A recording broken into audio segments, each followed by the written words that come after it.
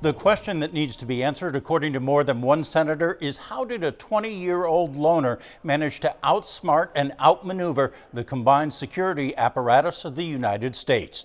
The acting director of the Secret Service and deputy director of the FBI questioned by senators. The acting director called the events of July 13th a massive failure, adding that a thorough review is underway and they're not waiting for that review to strengthen current security measures.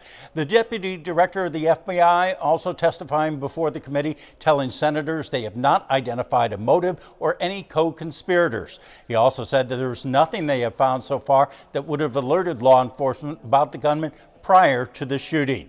Now, uh, Senator Maggie Hassan of New Hampshire was among those questioning the men. Senator Hassan says it's clear there were communication failures and wanted to know what steps are being taken to ensure that doesn't happen again, asking about the meeting prior to the rally of federal, state, and local law enforcement. The focus of that police meeting, one, is to exchange numbers and business cards and then coordinate times for walkthroughs. There were walkthroughs of the Butler Farm site with um, local law enforcement agencies that were supporting that visit.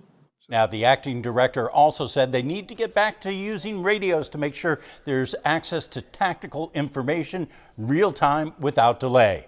Now, the chairman of the Senate Judiciary Committee pointed out the Democratic National Convention is in 20 days and asked, given what happened on the 13th, is a review of the security underway.